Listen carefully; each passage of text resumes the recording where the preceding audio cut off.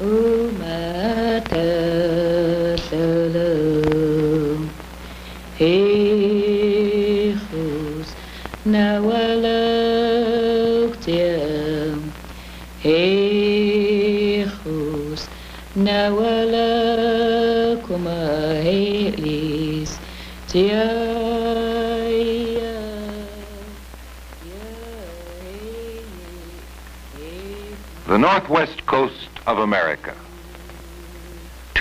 2,000 miles of rugged coast from northern California to Alaska, blanketed by dense fogs and heavy rainforests.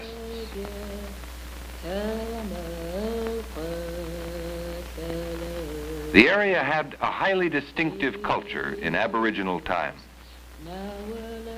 Remote and inaccessible, the region between Puget Sound and Alaska retained the purest elements of this culture.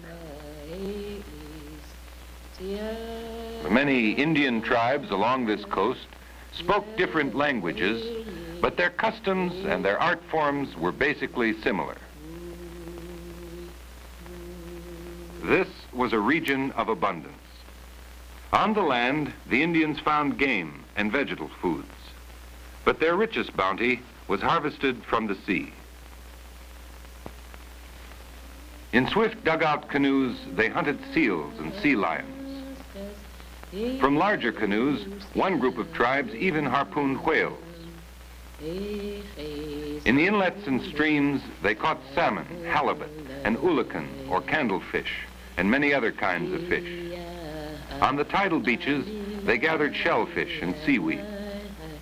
This natural abundance provided leisure to develop an extraordinary art. The weaving of baskets, mats and blankets, painting, and especially fine wood carving. From the dense forests of this coast, they took an inexhaustible supply of red and yellow cedar, excellent material for immense plank houses, great canoes, and elaborately carved masks and boxes, and totem poles.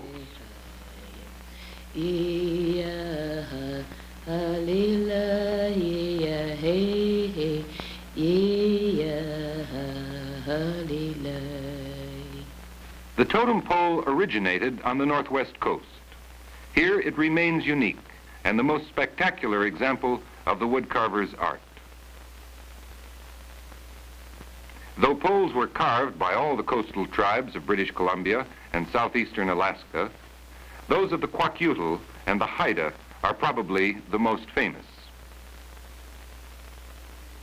They were not objects of worship, but were erected to display the social crests of great men and noble families.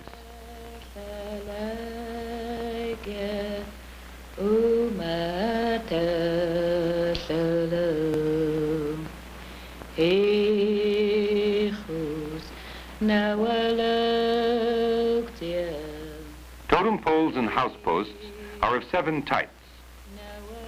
House posts, either plain or carved, supported the two central beams of each massive communal house. Crests, symbolizing the mythological tales or memorable events of the family, are displayed in these carvings, which fire in the center of the house. Each post might carry its own separate chronicle, or a single tradition might continue in the carvings of all four posts. If the posts remained uncarved, they were often faced with separate carved slabs. However, no examples of these are left today. The house post was probably the oldest type of column.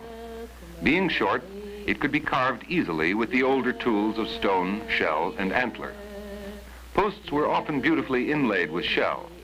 Some were decorated with human hair and ermine, though none of these decorations remain today. The mortuary pole was erected in honor of the dead. His ashes might repose in a crypt hollowed out in the back of the pole, or the pole might support a box carrying the body or the cremated remains. A totemic ancestor of the deceased was always represented on a mortuary pole.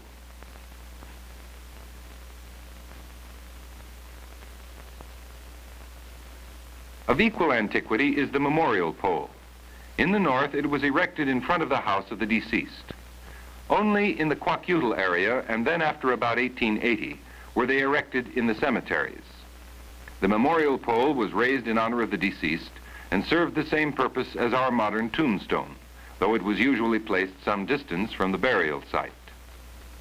Within a year after the death of a man of prestige, his successor was obliged to erect a pole in memory of the man whose rights, privileges, and property he had inherited. The successor was usually a nephew in accordance with the matrilineal system of most of these tribes.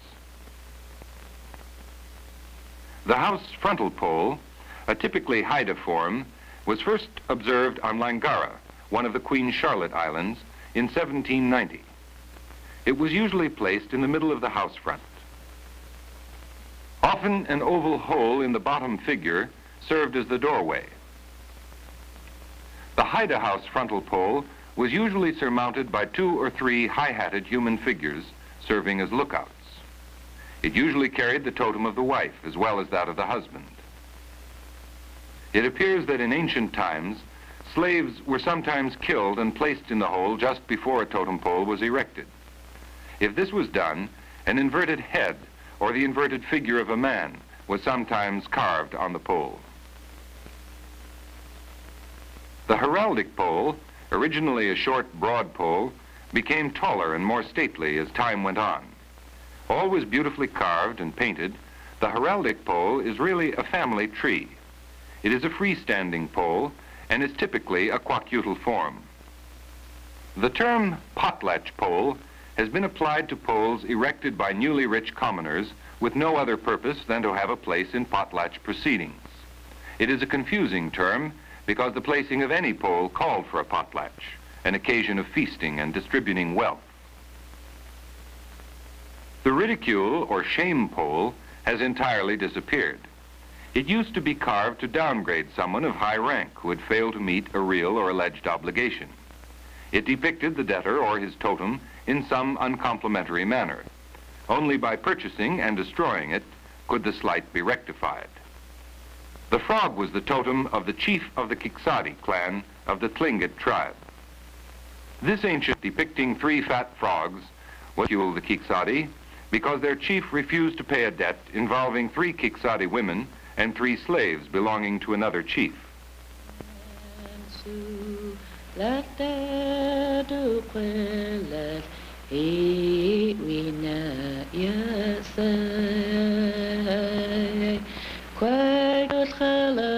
The high development of wood carving on the northwest coast stemmed from the complex social system of these tribes with their respect for prestige. Great stress was laid on systems of kinship and inheritance and on relative rank validated by displays of wealth. There were, in general, three classes of people, the nobility, the commoners, and the slaves. Among the Tsimshian, there was even a fourth class, that of the hereditary chiefs. Originally, the right to make such an ostentatious display of crests and other symbols of rank was limited to the chiefs and the very high nobility. Their wealth made this possible. They alone could afford to have totem poles erected in their honor. With the coming of the fur trade, wealth became more plentiful, and soon those of lower rank came to enjoy a condition of opulence. Next came the vast fishing and canning industries. Soon, even the commoners were able to erect totem poles, give potlatches, and display their newly acquired riches. By the first quarter of the 19th century, some villages had very many poles. By 1880, the erection of poles by the Haida, the most prolific carvers, had almost ceased. The Kwakiutl put up most of their poles after 1880 and the Tsimshian between 1900 and 1980.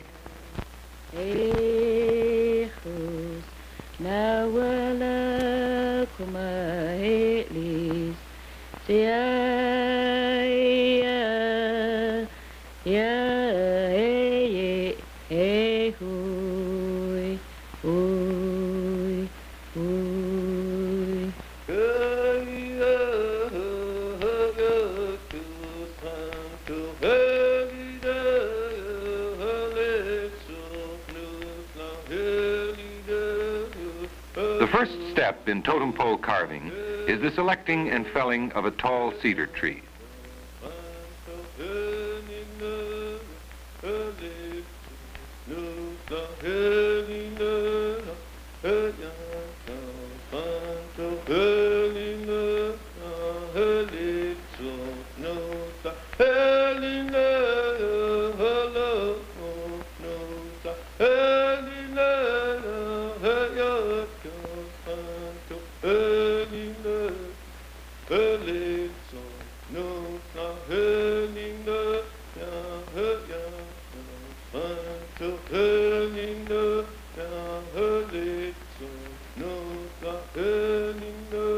Aquasala!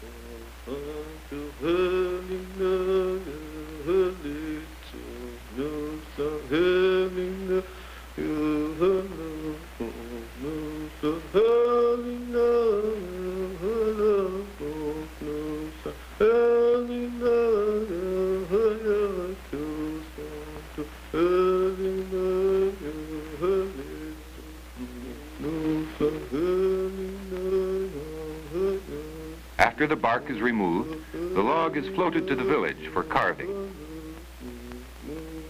The tools used on the northwest coast in pre-contact times were made with blades of stone, shell, or antler, although small amounts of iron were obtained by aboriginal trade and from pieces of wreckage cast up on the beaches. Using mostly non-metal tools, carving was slow, not elaborate, and probably only small poles were attempted. With the extensive introduction of iron by white explorers and fur traders, almost all tools were made with metal cutting edges, though the forms of the old tools were retained.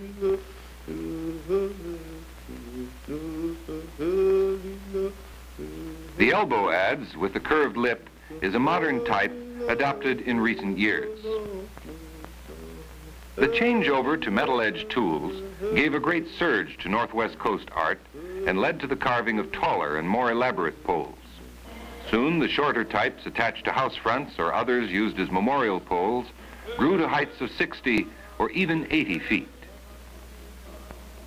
Today, there are only a few traditional carvers left, engaged primarily in duplicating some of the old, poorly preserved poles. One of these carvers was Mungo Martin, Nakapankam, a high-ranking chief of the Kwakiutl.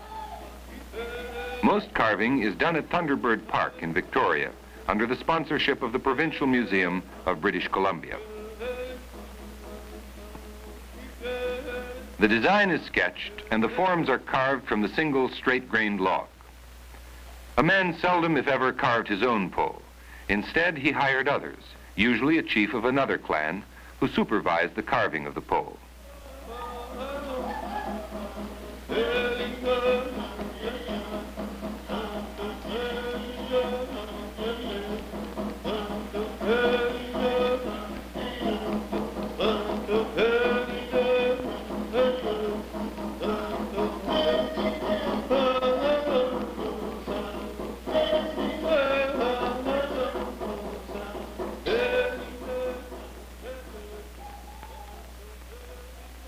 An outstretched wing or an unusually long beak was added, as for thunderbird or raven, it was carved separately, mortised, and doweled into place.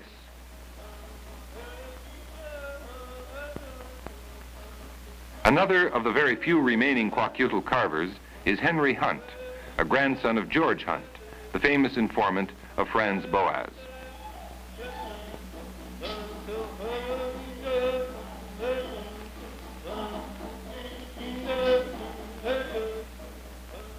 On the earlier totem poles, only the essential features such as eyes, ears, and mouths were painted. Pigments were mixed with crushed salmon roe and applied with brushes of porcupine hair.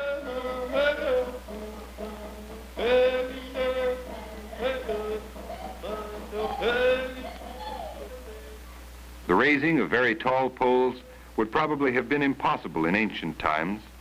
A pole of 40 or 50 feet was extreme for that period, and putting it up presented difficulties.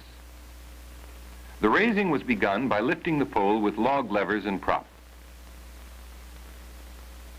When it reached a sufficient angle, it was pulled into place by means of a long line passed over a horizontal beam.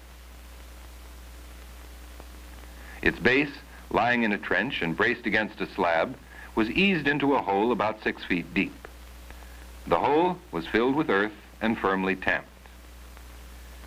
The pole usually stood about 80 years before its base rotted and it fell to the ground. The tallest pole ever carved stands in Beacon Hill Park in Victoria. It rises 127 feet 7 inches and was carved by Mungo Martin and his associates. Its elaborate carvings depict the legend of Geeksum, one of the first men of the Kwakiutl tribe, who is said to have been created on the north shore of Vancouver Island. Early one morning, Geeksum saw a great pole rising vertically out of the beach. Each figure was alive and making its characteristic cry. He was told, observe carefully all these figures on the pole. These will be your crests to be displayed by you and your descendants. Geeksum saw his own image on the base of the pole wearing a neck ring of red cedar bark, an emblem of special significance in the winter ceremonial. He also carefully observed hohok, the cannibal bird, and killer whale, eagle, beaver, and others.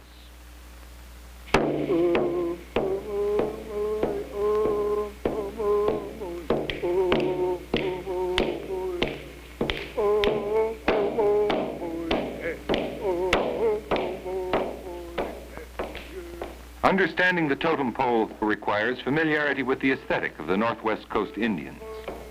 They abhor vacant spaces, in painting and textiles even more than in wood carving. Their art, because it was based upon the portrayal of mammals, birds, and other living forms derived from those met in everyday life, is primarily realistic. Perspective was not attempted. Symbolism, however, was highly important. One or more salient characteristics of each animal were always shown, and these came to symbolize the species.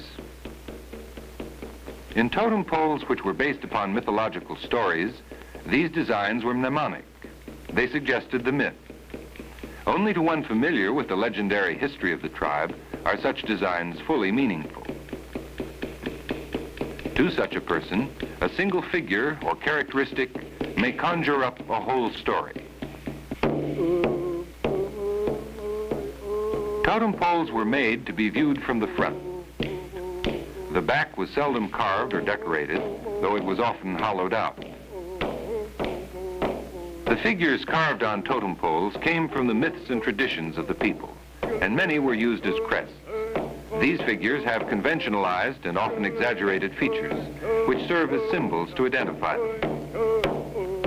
Beak forms identify birds.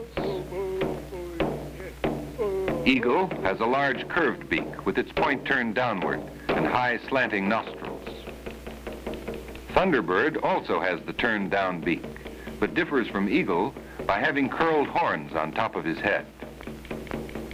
Raven has an excessively large straight beak. Hohok, the mythical bird who breaks men's skulls, has an even longer beak which is sometimes mechanized to make a clacking sound. Mammals are identified by having ears on the tops of their heads. Bear is easily distinguished by his large paws, ears, and a large mouth set with teeth. Killer whale's most prominent feature is a tall dorsal fin with a white spot.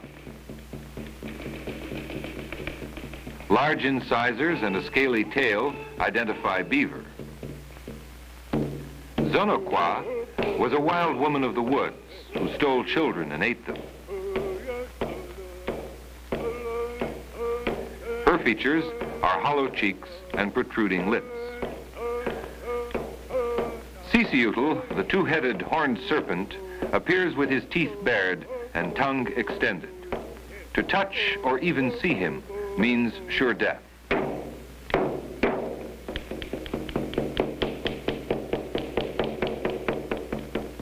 These are some of the crests and their identifying features. But there was also a bewildering variety of other figures and symbols, since clan members could utilize any character or incident in the clan's traditions. The carver was depicting, in a very real way, the actions of supernatural beings endowed with both human and animal attributes. He made these forms highly realistic, but never omitted the symbolic features. The carver's realism even goes so far that he often mechanizes certain parts, especially in masks. These movable parts are operated by cords to animate the figure. One feature of special interest is the use of the eye motif. In addition to the natural eyes of the animal, other eyes, or occasionally faces, were added to the figure, accentuating special parts. Sometimes the eye symbol appears out toward the tips of feathers. Such eyes are said to indicate special sensitivity and perception wherever they occur. It is virtually impossible for an outsider to fully interpret totem poles. The carver had a limitless choice of characters and few rules to govern him. An observer might recognize a character such as Raven, but he could not know which one of the many stories about Raven was being represented. The interlocking, often grotesque figures on an elaborate pole may have esoteric or hidden meaning to the owner and his clan but they have no religious significance. Totem poles are, in fact, cedar monuments to the person or family for whom they were carved. Bearing his totemic symbols and depicting mythological incidents in the legendary history of his family, a pole added great honor and prestige to the person for whom it was erected. Very few totem poles still stand on the old village site. The moist climate, which nurtures the tall cedars, also erodes the carved monuments made from cedar, causing them to rot away.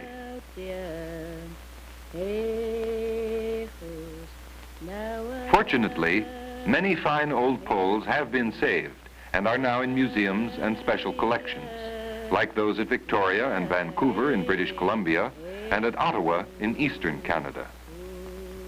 Not only have these original poles been preserved, but replicas of many of the finest have been made by such carvers as Mungo Martin. From the time of early contact, the totem pole has been the outstanding feature of the northwest coast, with Thunderbird its most distinguished figure. At least once, possibly several times during his life, a man of rank would give a potlatch on acquiring a new crest, a chief might invite many tribes to his village.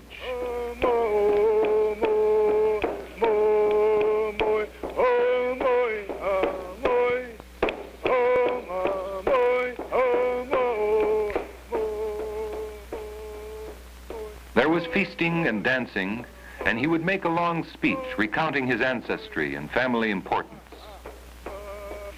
This is the house of Mungo Martin. Nakapankam in Thunderbird Park, Victoria, Vancouver Island. He has invited a group of his Kwakiutl tribesmen for feasting and dancing, as in ancient times.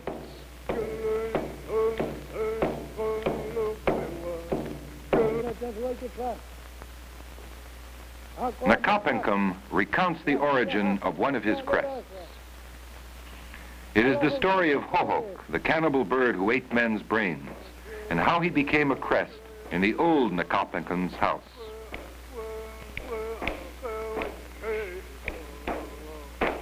One day, a great chief, Yaiko Lalasami, went bear hunting. When he had been away four days, he saw Hohok, this fabulous bird, and heard his cry. Hohok was larger than a man. The chief was frightened and hid. Finally, Hohok found him hiding at one side of a cedar tree. Hohok tried to peck the chief with his great beak, but missed him. Yaiko Lalasami merely jumped to the other side of the cedar tree, and Hohok could not kill him. The great chief came home and carved Hohok out of yellow cedar and placed him on top of a pole at his house.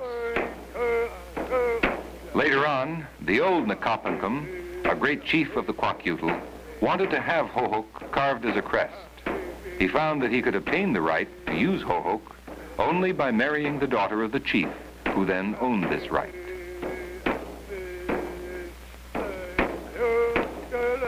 He married this daughter, and today Hohok is the topmost figure of the house posts of both of Nakapankam's great houses.